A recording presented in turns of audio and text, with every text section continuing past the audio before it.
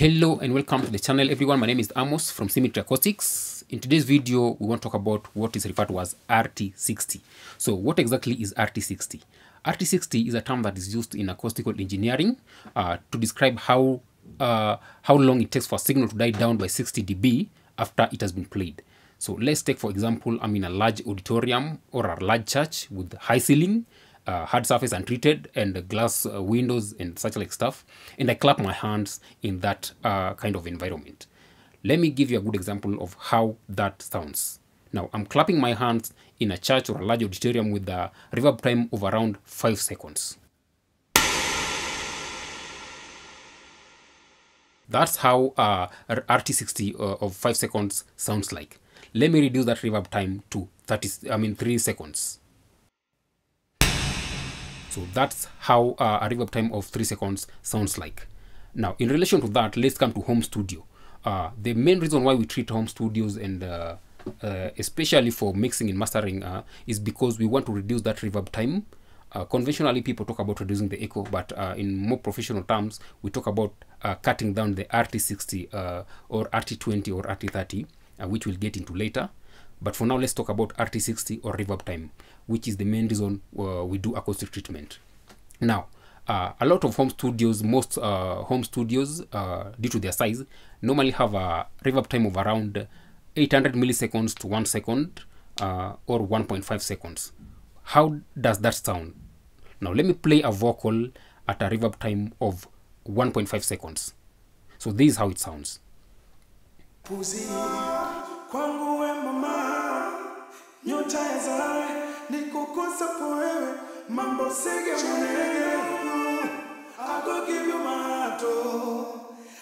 Feel when I go Let me play now uh, music that is a combined frequencies uh, from low frequency to high frequencies at a reverb time of uh, 1.5 seconds, which is the untreated home studio.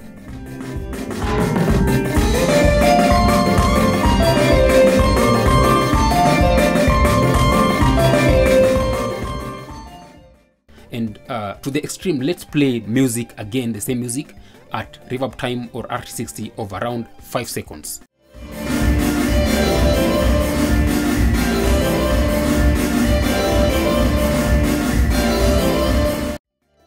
You can hear at 5 seconds it's almost impossible to hear uh, between the instruments or the vocals. Everything is smeared up uh, because the, the decay it takes so long for the sound to decay. The decay is, is the decay time is so high. Now that is the main purpose of uh, acoustic treatment for all these kind of scenarios. Uh, let's talk about a light church for instance with a reverb time of 5 seconds. The way we'll treat a light church is not the same way we will uh, treat maybe a mixing room or a tracking room uh, for that matter a, a large church uh, or auditoriums are exactly designed to sound uh, large. So the main goal of treating a space like a church and reducing the reverb time or RT60 uh, to bring it down from 5 seconds to maybe around 3 or 2.5 seconds. We still want to hear the the, the, the, nature of the, the, the, large space in auditorium in large churches. We do not want it to be like a home studio or a, a, a smaller space. It needs to be uh, still a larger space but with a controlled decay time. Okay, now let's get to home studios and see how uh, things are here. Uh, you can see uh, I have two signals here. One is a red signal, uh, the other one is green signal. You can see uh, red signal is on top of the green signal.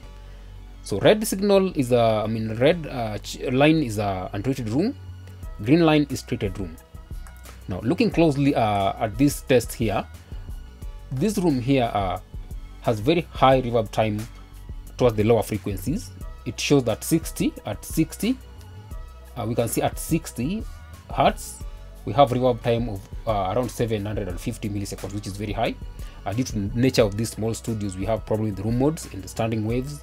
Uh, so that is why it, it's very problematic to control these frequencies for home studios small home studios like this one here uh, when we head to around 100 uh, 100 hertz here you see uh, the reverb time is reduced from uh, around 500 milliseconds all the way down to around 300 milliseconds which is not bad.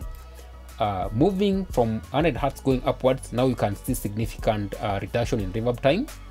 From here we have all the way from 1 140 mm, 150 hertz all the way to 200 hertz. We have re reduction in reverb time from 550 milliseconds to uh, around 250 milliseconds which is not not bad also.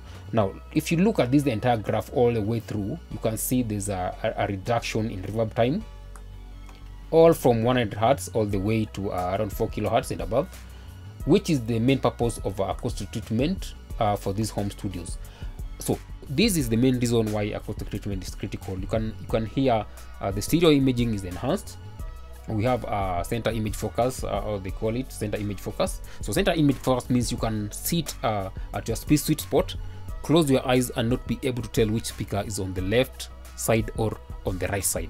Now that is that is a beautiful thing because now you get a very good stereo imaging also uh, and separation. So all those things they, they are they are able to be achieved by good acoustic treatment uh, good coverage.